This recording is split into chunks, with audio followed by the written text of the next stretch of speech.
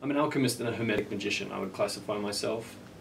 I'm the Director of Education for the International Alchemy Guild. Uh, we're, uh, we're an organisation of alchemists uh, that goes back to the court of Emperor Rudolf II in Prague, and it's the Guild's mission to disseminate alchemy teachings to the general public.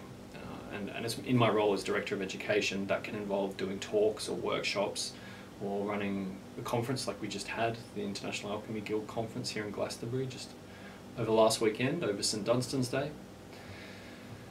And yeah, so I was trained, my work background is in uh, as a psychotherapist, so I've been trained uh, in that capacity in transpersonal uh, psychology and counseling. And I also I also compose electronic music, ambient electronic music. I'm a music producer as well, so that's something else that I do. I write and perform and produce like ambient electronic music live under my uh, artist moniker Prima Mans. So yeah, I've got a few things that I do, a few strings to my.